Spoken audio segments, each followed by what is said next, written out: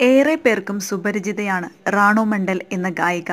ഒരു വർഷം മുൻപാണ് പശ്ചിമ ബംഗാളിലെ റെയിൽവേ സ്റ്റേഷനിൽ ഭിക്ഷയാചിക്കവെ പാട്ടുപാടിയ റാണുവിനെ സോഷ്യൽ ലോകം ഏറ്റെടുക്കുകയായിരുന്നു.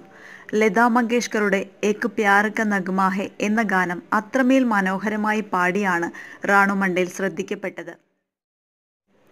ഇത് ഒരാൾ പകർത്തി സോഷ്യൽ മീഡിയയിൽ ഇട്ടതോടെ റാണാഹട്ട് റാണി എന്ന വിളിപ്പേരുമായി അവരെ ഇന്ത്യക്കാർ ഏറ്റെടുക്കുകയായിരുന്നു. തുടർന്ന് ഒട്ടേറെ പ്രമുഖരുടെ പ്രശംസ റാണുവിനെ തേടിയെത്തുകയായിരുന്നു. പാട്ട് കേട്ട് ഇഷ്ടമായ സംഗീത സംവിധായകൻ മികേഷ് റാണുവിന് സിനിമയിൽ മൂന്ന് പാട്ടുകൾ പാടാൻ അവസരവും കൊടുത്തു.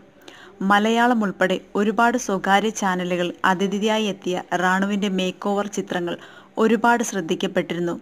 പേരും പ്രശസ്തിയും എത്തിയതോടെ സ്വന്തം സ്ഥലത്തു നിന്നും മറ്റൊരിടത്തേക്ക് താമസം മാറ്റിയിരുന്നു. റാണുവിനെ ഉപേക്ഷിച്ചു പോയ മകളും തിരിച്ചെത്തിയിരുന്നു.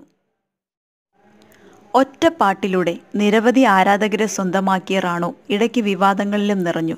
പൊതുസ്ഥലത്ത് വെച്ച് റാണുവിനൊപ്പം ഫോട്ടോ എടുക്കാൻ തുനിഞ്ഞ യുവതിയെ റാണു ശഹാരിക്കുകയും കയർത്ത് സംസാരിക്കുകയും ചെയ്തു. പണമുണ്ടായതിനൊപ്പം അഹങ്കാരവും റാണുവിനുണ്ടായി എന്നായിരുന്നു ആ വീഡിയോയോടൊപ്പം പ്രചരിച്ചിരുന്നത്.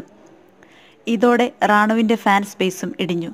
പിന്നീട് ഏതാനും മാസങ്ങളായി വൈറൽ ഗായികയെക്കുറിച്ച് യാതൊരു അറിവുമില്ലായിരുന്നു സമൂഹ മാധ്യമങ്ങളിലൂടെ പലരും ഈ ഗായികയെക്കുറിച്ച് അന്വേഷിച്ചെങ്കിലും കണ്ടെത്താനായില്ല.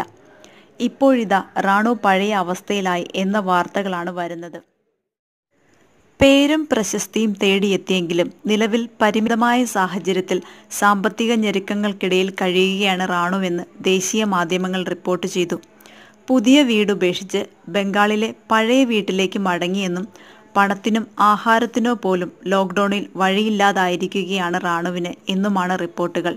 ലോക്ക്ഡൌൺ തുടങ്ങിയ സമയത്ത് പാവങ്ങളെ സഹായിച്ചിരുന്ന റാണുവിന് ഇപ്പോൾ സഹായം അങ്ങോട്ടു വേണ്ട അവസ്ഥയാണ്.